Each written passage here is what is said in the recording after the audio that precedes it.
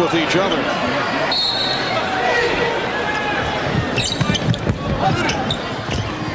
O'Neal.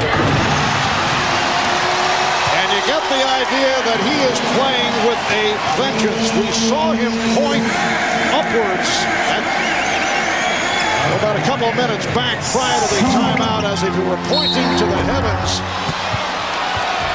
And you, you never know how a player will react to this type of situation, whether he'll be down about it or whether he will use it for inspiration. It appears that Shaquille is using it to motivate himself. Well, these are situations where the Chicago Bulls would like to foul Shaquille before he can dunk that basketball, but no way Michael Jordan